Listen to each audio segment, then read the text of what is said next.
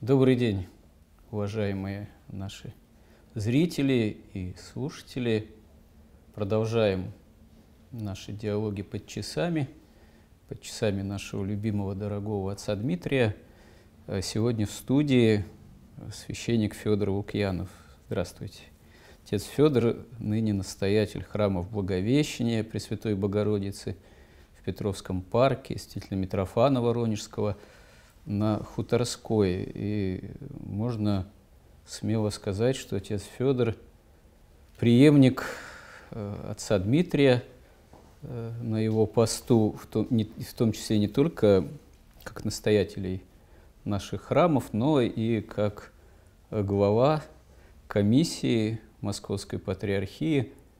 Вообще, когда в церкви происходят какие-то достаточно важные, в чем-то, может быть, эпохальные события, это, конечно, привлекает э, внимание э, и верующих людей, и не только верующих людей, внимание мира, а, конечно же, кончина нашего дорогого отца Дмитрия, протерея Дмитрия Смирнова, это событие было очень заметное и для мира в том числе – и, конечно же, любопытство по поводу того, кто фактически э, заступил ну, и на место его настоятельства, и э, стал во главе э, комиссии, оно ну, себя неизбежно проявляет.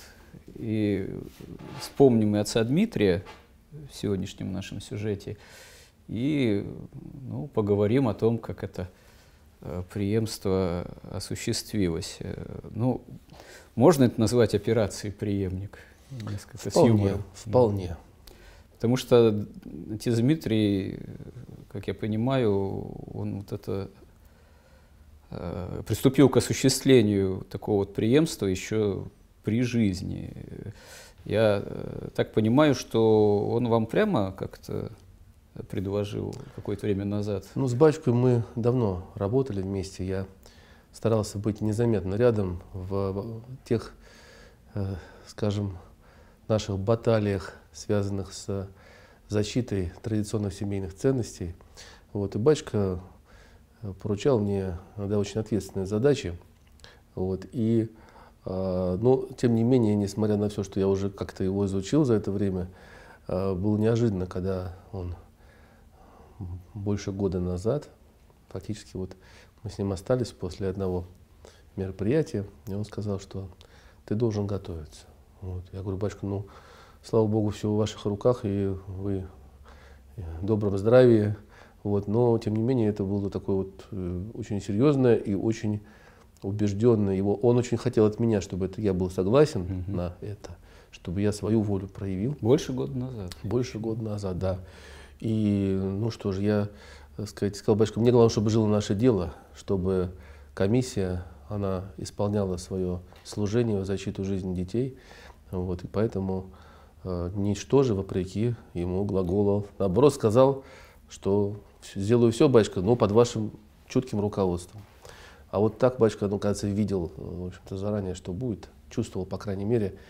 И, конечно, это было для меня не, очень неожиданно, что так все произошло. Ну, выбор отца Дмитрия, еще, который осуществился заранее, осуществлялся, это он ну, о многом уже сам по себе свидетельствует. Я думаю, что если вы немного расскажете о себе нашим зрителям, слушателям, они будет это интересно и важно знать. У вас э, довольно серьезное образование. Ну, так, МГИМО, дипломатическое, э, гуманитарное, э, я так понимаю... Есть еще экономическое. Да, да, после того. Языки, английский, китайский, да? Да, английский, китайский, ну, именно так. Это немало в, этом, в плане такого да, гуманитарного развития. Плюс экономическое – Плюс да, ну еще в области биоэтики, биоэтика, специализированное да, образование. Да. А вот э, вы с детства в вере воспитывались или пришли позже? Кто ваша семья, родители, вот в чем вы возрастали с детских лет? Ну, родители у меня из сферы э, можно сказать, искусства, потому что они архитекторы по образованию. А, так получилось, что вся наша жизнь домашняя, она была э, буквально окружена книгами, э, книгами по изобразительному искусству. Э, у нас были прекрасные книги по иконописи. Все это с детства, оно было. И, конечно, не проходило мимо меня. В Москве потому что, детство. Конечно, в Москве, да, я родился в Москве. И, конечно, вот эта вот среда, связанная с высоким искусством, она очень сильно повлияла. Мне, конечно, мои большие друзья были книги. Вот. И э, с детства я спрашивал своих родителей о вере. Я был не крещенный.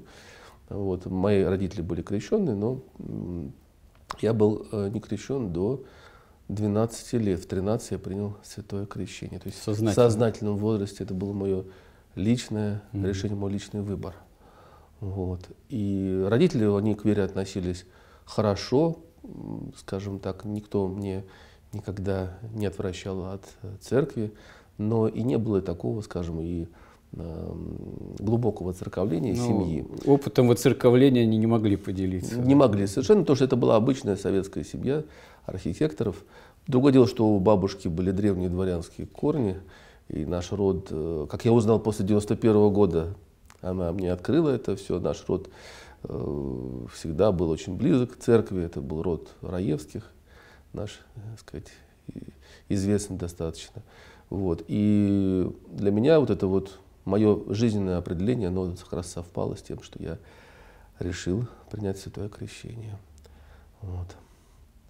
В 13-летнем возрасте. А мысли, движения вот к сужению уже, именно понимание того, что Господь, вероятно, призывает к церковному служению, они э, когда?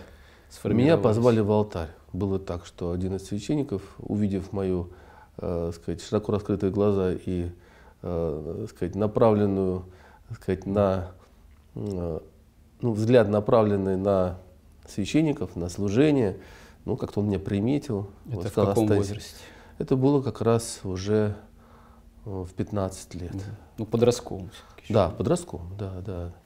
И меня позвали после службы, вот, познакомили с настоятелем храма архистратига Божия Михаила в Тропарево, протерем Георгием.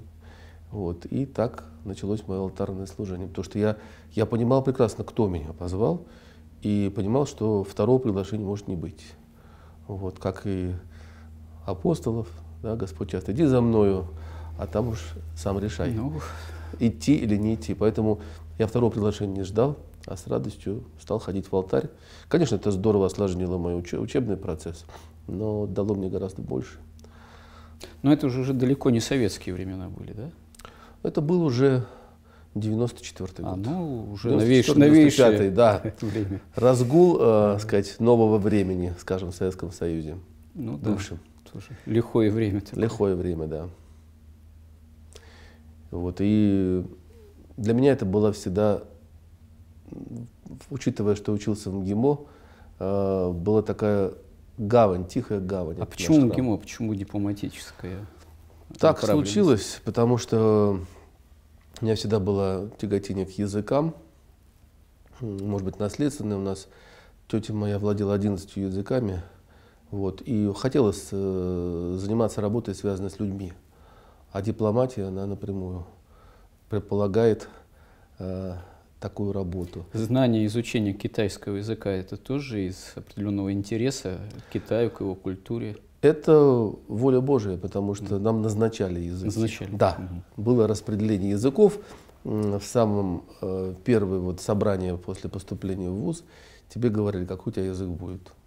Арабский, японский, урду или китайский.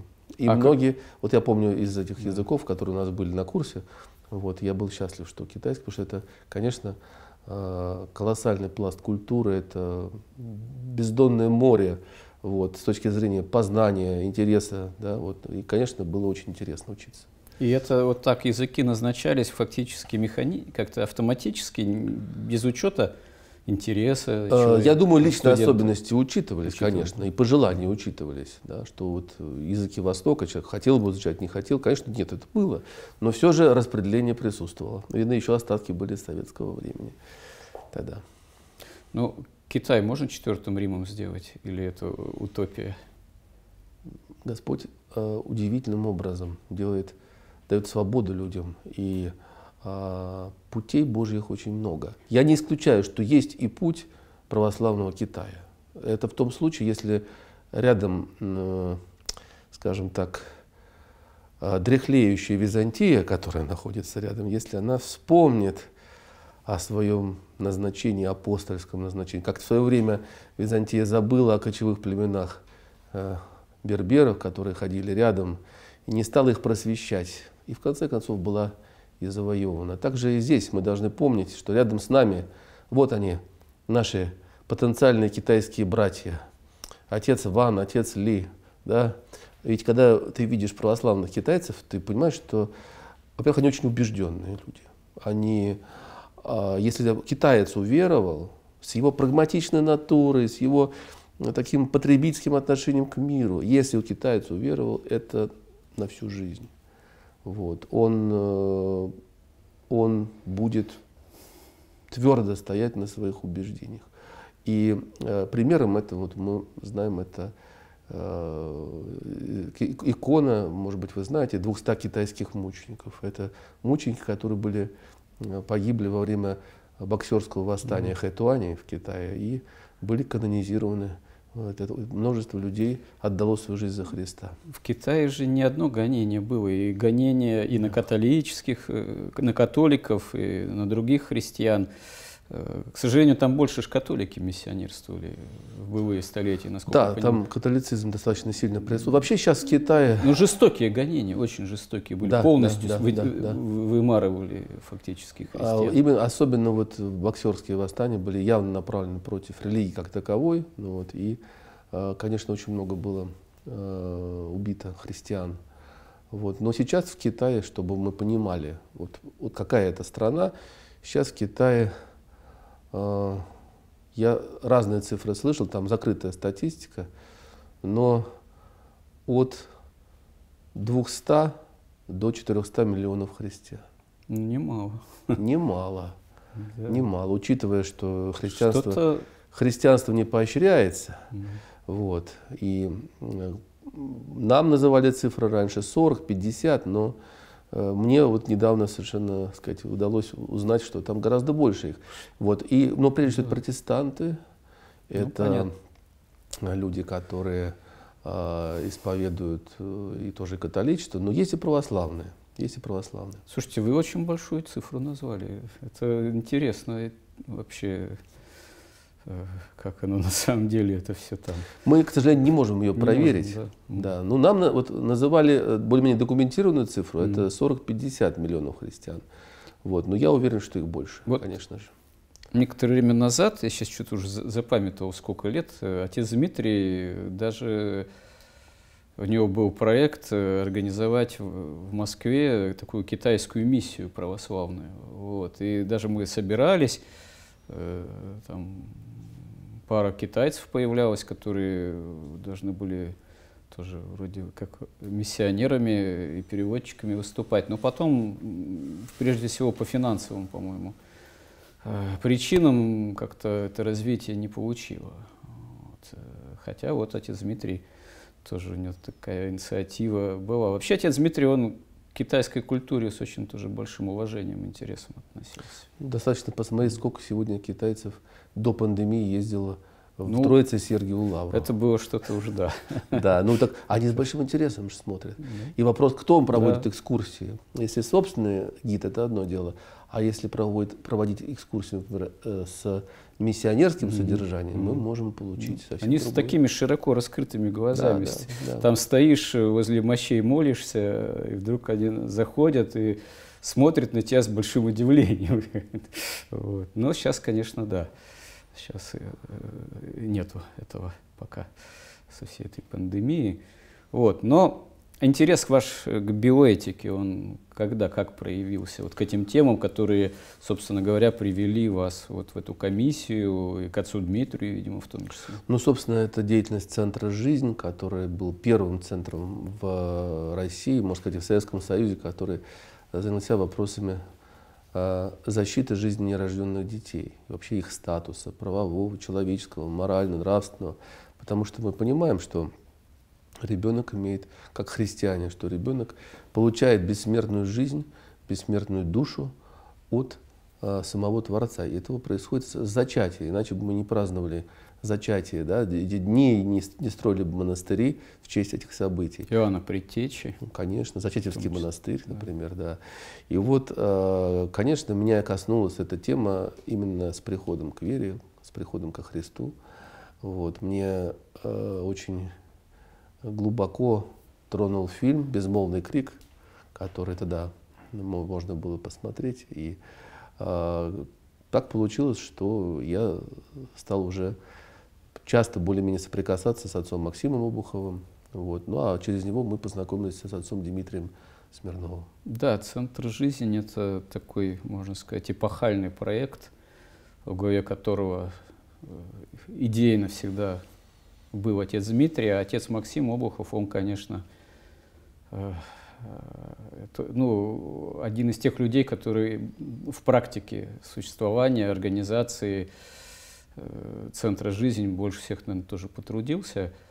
А отец Дмитрий еще ведь был один из первых пастырей, которые бескомпромиссно совершенно начали эту тему озвучивать сперва с проповеди, а потом уже в средствах массовой информации вот, э, с конца 80-х, э, начала 90-х годов. Э, отцу Дмитрию, да, до сих пор еще предъявляют претензии некоторые, да, за его якобы чрезмерную резкость.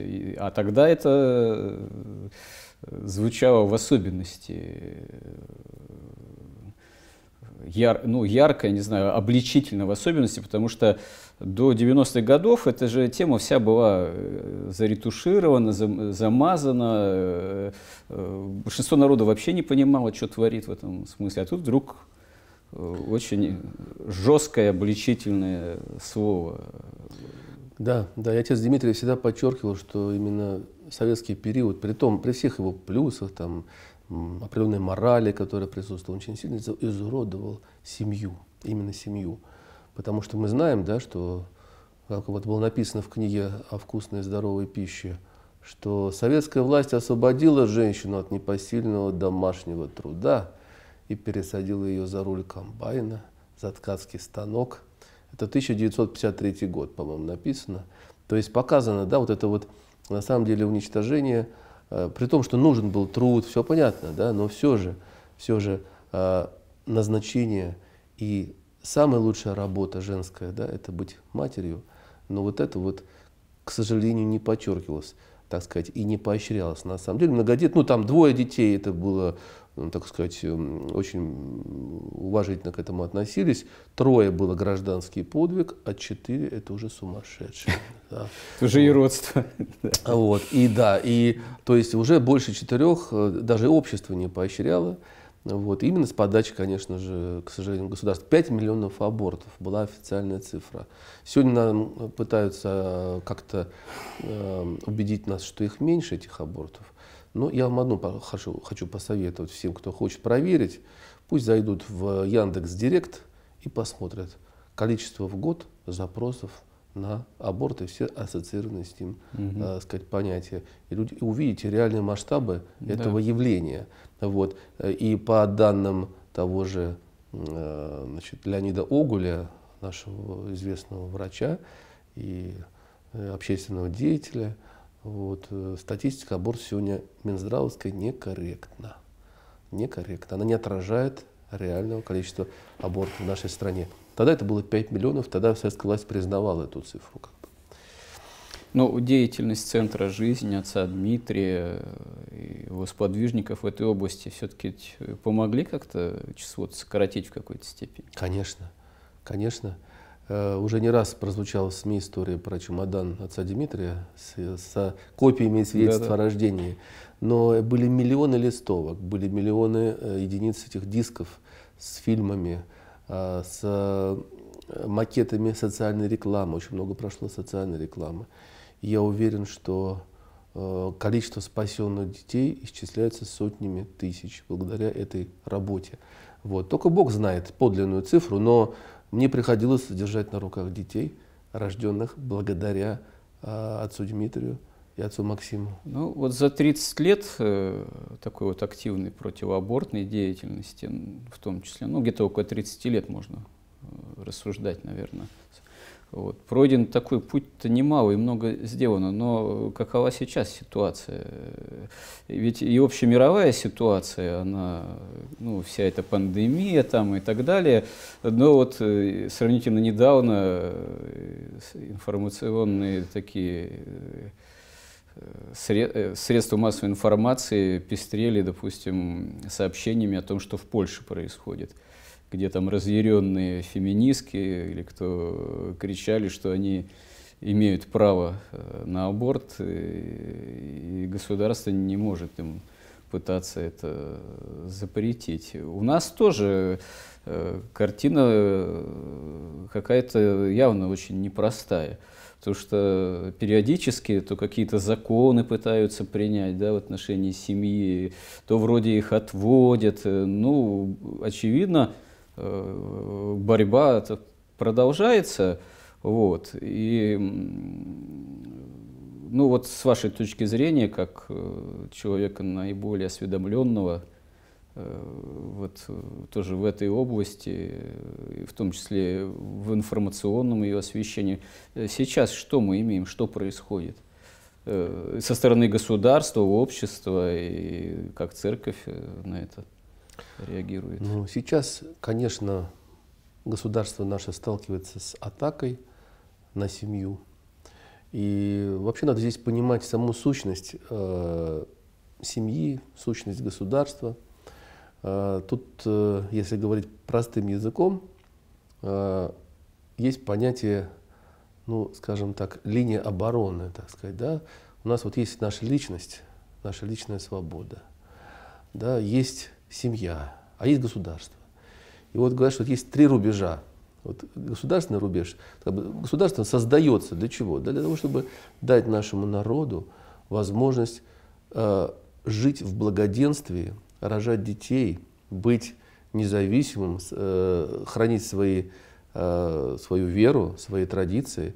Вот для этого создается государство. Оно защищает всех нас, всю совокупность семей, находящихся в нашей стране. Но если например, государство каким-то образом, предположим, а, теряет свою мощь, свою силу, поддается действию внешних факторов.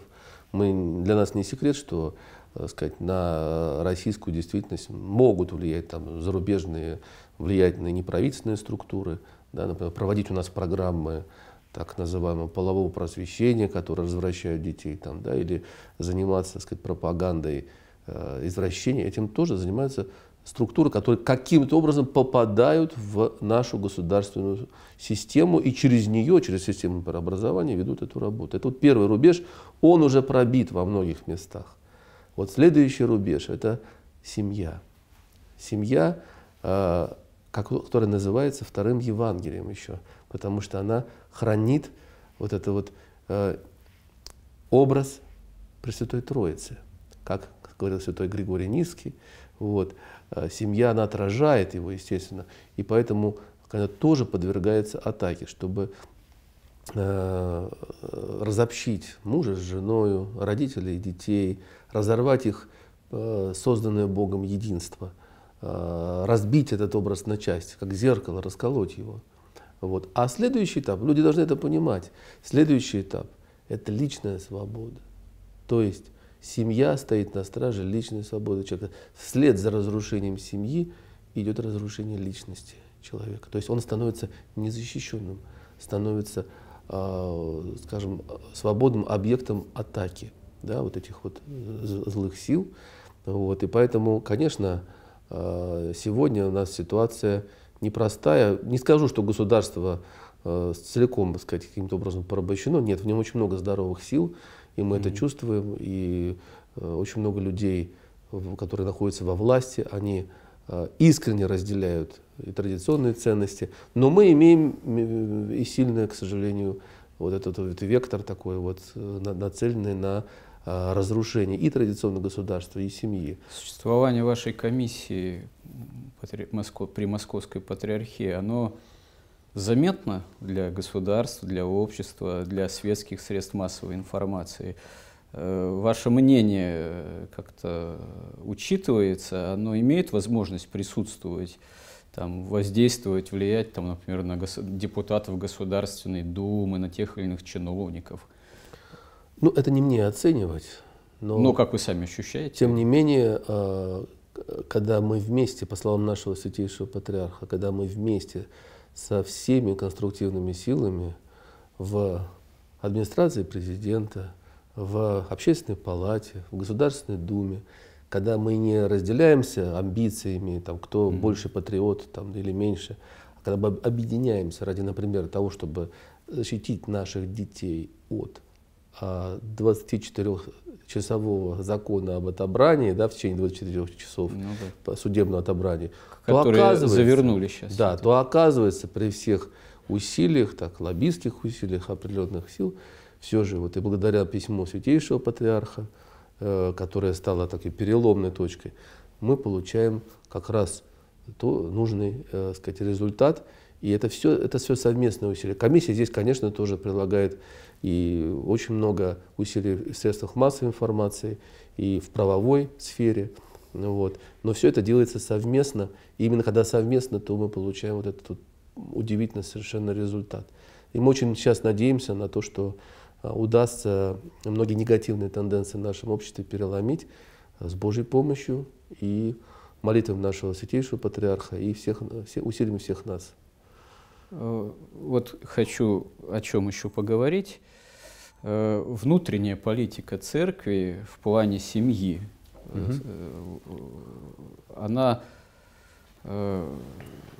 как вообще формируется или должна формироваться, или, может быть, нужно все ли, скажем так, способы, методы работы с людьми, с прихожанами, с молодежью, с молодыми семьями, с многодетными семьями выработаны, или, или это нуждается все-таки еще в какой-то э, серьезной и, про, и первоначально, может быть, еще и в осмыслении даже, даже, может быть, в каком-то богословском таком, практическом, социальном. Я еще почему на эту тему вот заговорил. Я как священник э, по исповеди знаю, что э, вот современная мама, многодетная, православная, э, а некоторые даже удивительные люди есть, которые, имея несколько своих детей, еще и стремятся взять в семью сирот, но нагрузка на современную маму, она очень часто чрезвычайная. Она, можно сказать, превосходит э, какие-то элементарные психофизические силы, э, женские и материнские. Но это по объективным причинам. Потому что, ладно, ну, мы говорим все-таки про Москву, не про сельскую местность. Это обычно малая какая-то ограниченная жилплощадь, это достаточно небольшой доход. Это проблема с тем, что общество совершенно не устроено, не приспособлено к большому количеству детей. Если там даже куда-то идешь устраиваться в секции, кружки или на аттракционы, далеко не везде тебе еще и скидки сделают. И дело даже не в этом. Опять же, я вот повторюсь, вот эта вот нагрузка, она часто выплескивается или выражается, точнее, у женщины в неком таком, ну, в том, что она в состоянии некой загнанности, в том, что она в состоянии такого психологического дискомфорта, ее борет раздражение, ее борет часто несдержанность, что отражается и на детях. Вот что здесь мы, как церковь э, и общество тоже э, должны были бы делать, как эту ситуацию, выражаясь современным языком, оптимизировать как смягчить, улучшить, э, сделать более комфортным жизнь вот многодетных мам. В первую очередь, конечно, православных наших. Ну, тут два вопроса, да, вот. Наверное, да. В отношении первого хочу сказать, что, конечно, у церкви есть четкая политика в отношении семьи, и она изложена во многих церковных документах. Но самое главное, что сегодня семья – это основа прихода. Вот говоря, так сказать, вот простым языком, э, приход не может состояться без э, и семьи священника. И У вас семьи. шестеро, да? Шестеро, У меня шестеро, да, да, да. И еще, подчеркиваю, без э, нормальной семейной обстановки, потому что по большому-то счету э, приход это союз, это малый союз семей. Вот. И горько бывает, когда мы видим пожилых, например, там, да, только пожилых на приходе. Или мы видим попытки молодежи прийти как-то там найти свое место, они место не находят. Вот э, все это сразу же становится на свои места, если в центре прихода большая группа молодых семей. Там всем найдется место.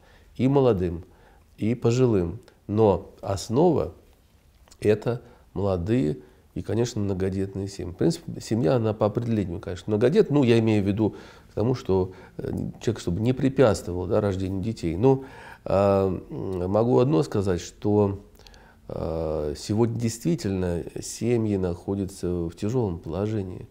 И ситуацию это создало наше общество. Еще, сказать, в советское время было как бы заложено то, что у нас, так сказать, даже формат вот проживания, мы с вами задуматься надо, лестничная клетка да, так сказать, квартира, да, как таковой вот формат жилища в квартире – это временное жилище. Вот исторически да, заключение некое квартира, с детьми. Да, совершенно верно. Во многие сейчас так и чувствуют, что вот, а, особенно когда какие-то вводятся карантинные меры, люди чувствуют себя в тюрьме, в городе, именно в городе.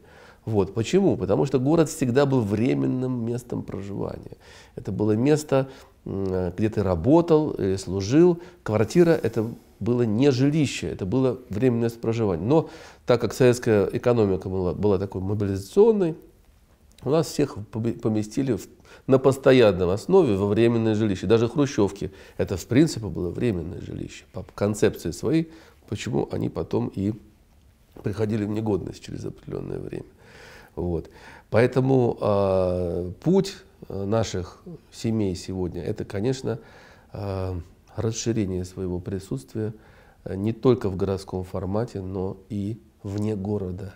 Многие сейчас скажут, ну а как же вот там сказать учеба, как же дело в том, что от нас зависит. Где мы находимся, там находится и инфраструктура. Если пойдет массовое движение семей из города, то появится и необходимая инфраструктура. Но я вижу уже сегодня, что вот в спутниках, городах-спутниках Москвы, около них складываются и школы, складываются и Э, места, где можно детей учить э, и фермерскому хозяйству, и спортивным мероприятия проводить. Прекрасно совершенно. То есть надо внутренне немножко уйти из городского формата. Это с точки зрения вот э, современного человека. Но учитывая, что большинство, конечно, вот, ситуаций, которые вы описали, это городские ситуации, надо, чтобы на приходе люди чувствовали себя как дома.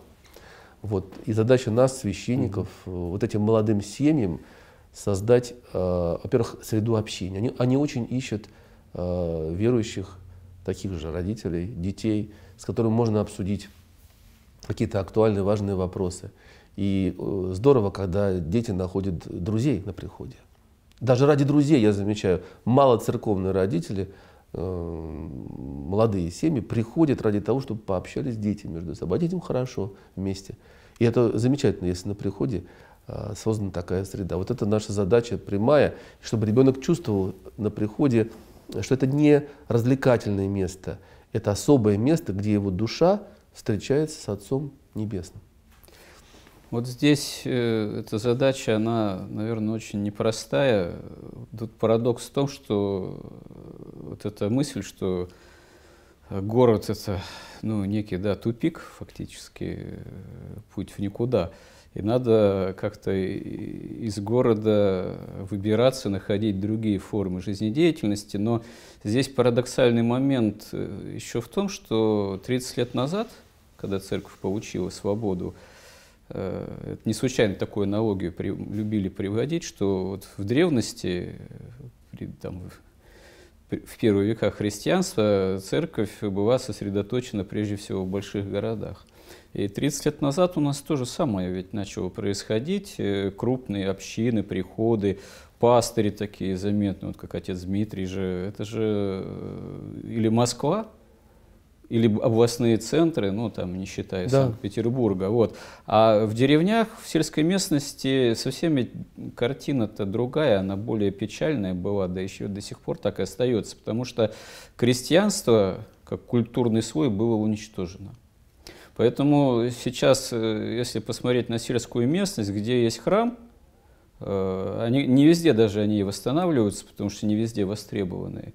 Есть, да, священник, э, порой может быть вполне духовный, талантливый, но вокруг него группируются далеко чаще всего не молодые люди. Это какой-то вот костяк пожилое население, плюс дачники – вот, которые, да, вот бегут на лето в основном, Для сезон, да, да, из да, больших да. городов, но э, какого-то серьезного э, массового движения в деревню-то все-таки нет. Нет, я, может быть, не очень точно здесь формулирую, есть оно определенное. Многие люди как-то туда э, все-таки стараются да, перебираться из города, и это есть. Но я бы сказал, нет Э, четко какого-то оформленного и освещенного церковью движения из э, городов. То есть, чтобы выбраться из города, надо же не утратить связь с общиной, с церковью, или надо на новом месте сформировать эту общину именно Э, чтобы было собрание настоящее. А то ведь до сих пор, вот опять же, приводя пример отец, отца Дмитрия и других его тоже друзей, пастырей, вот, э, ведь у нас же приход, начиная вот с того времени, 30 лет назад, формировался фактически не по территориальному признаку, а по признаку того, что к отцу Дмитрию стекались его духовные чады. Сейчас, может быть, немножко ситуация меняется, но все равно это еще по инерции основной вот э, принцип формирования приходской жизни в больших городах. Вот. А в сельской местности там, да, вот э, мы видим, что я уже... Бачкино огромное сердце, оно и было главным там, светочем, да. на который все слетались. Ну, как тут Потому что место находилось для всех. Да, это правда. Да. Я просто долго вопрос, даже не вопрос, наверное, рассуждение формулировал. Да, это скорее даже не вопрос, потому что, да, э, движение из города, но, видимо, церкви надо задуматься, как эти, это движение, какие формы находить и церковной жизни, если это движение будет осуществляться. Это непростая отдельная задача. И в заключение уже на нашей беседы вернемся вот к, к теме операция преемника. Отец Дмитрий вам как-то вот успел объяснить, да, показать, э, научить, как этой всей громадиной, махиной, э, приходской, общинной управлять. Вы понимаете, вот, с чем вы во главе чего и с чем вы столкнулись? Батюшка мне четко совершенно поставил акценты, когда мы с ним долго-долго беседовали. Вот у него дома, когда он уже с трудом ходил, mm-hmm. вот мы с ним очень долго беседовали. И он э, всегда говорил, основа это люди. Любое хозяйство, любая инфраструктура наполняется людьми. И э, я вижу в этом его такое и завещание, и э, пример его личный. Он действительно э, всегда э, жалел людей. Это да. Всегда любил людей. И эта любовь и главное, что создавало этот приход. Поэтому я, сказать, свою скромную задачу вижу в том, чтобы эта любовь не угасла, а приумножилась.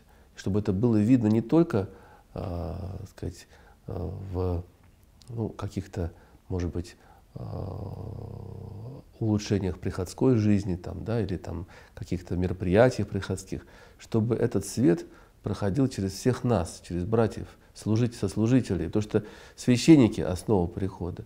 Если мы не будем солеными с вами, если мы не будем, э, любовь от нас не будет исходить, то э, мы не сможем вот, продолжить дело отца Дмитрия. Поэтому моя задача, чтобы братья у нас горели, да, а вместе с нами и будут и люди обращаться к Богу. Поэтому все это дело совместное, и это, об этом батюшка тоже говорил. он э, дорожил всеми э, людьми, которые ему послал Бог на его пути, особенно священниками. Он о вас отзывался, ну, как о вот своих, наверное, произведениях искусства, которые он очень ценил. Учениках. Вот этот вот это такой, это особенность. Вот это такой человек.